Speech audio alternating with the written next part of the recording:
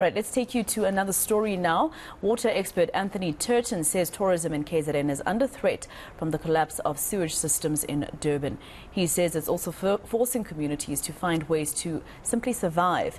Turton's been helping them set up and commission boreholes. He joins us now for more details. Uh, Professor, thank you so much for speaking to us here on ENCA. Um, you know, explain to us how bad this issue is. I'm, I'm assuming it emanates from what happened uh, back in July, or rather in April. Uh, yes, good morning to you and the listeners. Thanks for having me. Um, um, I am working in the Ugu District Municipality that's centered on Port Shepstone. And uh, it's a very, very large area, almost a million people that are supplied by water from the Ugu District Municipality. And those water services have been slowly collapsing for, for, for, for years now, to the extent that we have some places that don't have water for weeks on end. And um, I've been working um, as, um, as, as, as part of a Rotary group working into some distressed communities, um, most notably uh, the Flower Foundation and Annerley Haven, both of which uh, are, are, are, places where elderly and people that are that are uh, in frail care uh, need to to live. And of course, their water services have been severely disrupted. So uh, we've been siting a series of boreholes uh, quite successfully just to take these people off grid. Mm. And, you know, every time they drill boreholes, my understanding, Prof, is that um, that would also have a consequence uh, in terms of the, systems that are, that, that, are supposed to be working anyway. Um, you know, once you've, once you've drilled too many boreholes?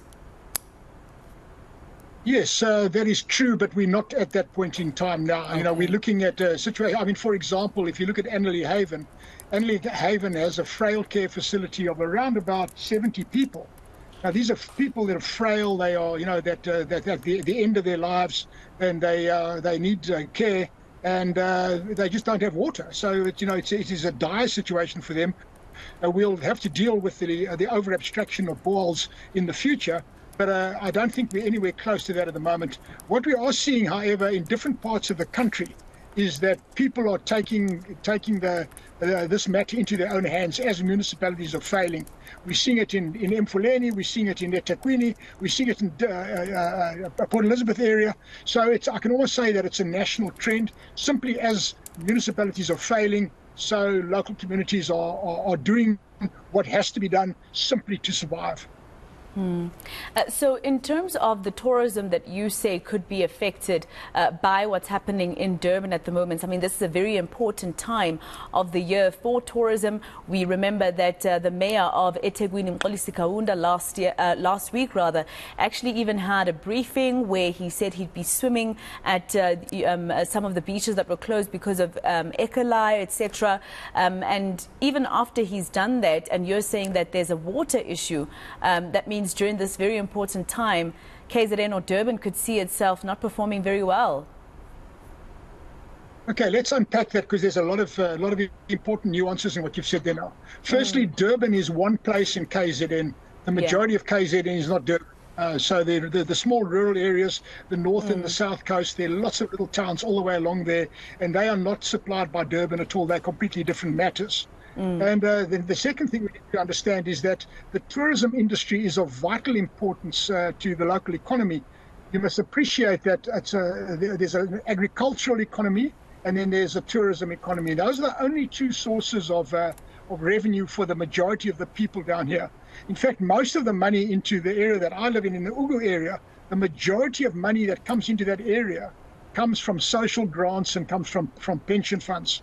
So we are dealing to, to, to, with a very, uh, uh, to a large extent, with a, a relatively poor population of people. And then twice a year, maybe three times a year, you get a lot of tourists that come in there. And yeah. those tourists are extremely important. So your tourism industry has invested very heavily into uh, boreholes, into into uh, building their own resilience, in order to give the uh, the incoming tourist a good experience. Mm. So it's very, vitally important that we get that message out that yes, it's not necessarily a good thing in Durban itself, but that's not the same as you know as places like uh, like Ramsgate, Margate, Port Shepstone, yeah. etc., places along the north coast where where there's been a big investment by the tourist operators uh, to uh, to make sure that your uh, your tourists have a good uh, a good good holiday. Then of course mm. the E. coli issue that is a sewage related problem, and that's mostly associated with the big cities Uh, you know, where you've got a big sewage works that's failed, then you've got a large amount of sewage that comes into the sea at one place. That is less the case on, on the south coast, where you've got lots of the, you know, uh, large beaches and uh, relatively smaller population of people and relatively small sewage works. In fact, most of the sewage, sewage there is taken care of by septic tank. So we tend not to have the sewage problem on the south coast. Yeah. All right. Um, so basically, what you're saying that is that uh, uh, tourism will not be badly affected because at least the tourism industry has invested a lot in making sure that uh, people don't experience both load shedding and uh, water cuts, etc. Yes, absolutely. And then, uh, having said that, I think it's just important that the public must be prudent when they go to the beach. Uh, yeah. We know that that all over the country, every river in the country is contaminated with sewage of some sort. We know that for a fact.